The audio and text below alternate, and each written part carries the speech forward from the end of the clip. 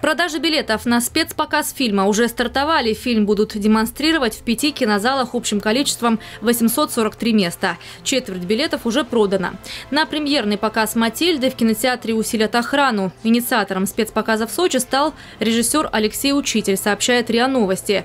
В широкий российский прокат «Матильда» выйдет 26 октября. Картина рассказывает о романе будущего императора Николая II и польской балерины Матильды Кшесинской.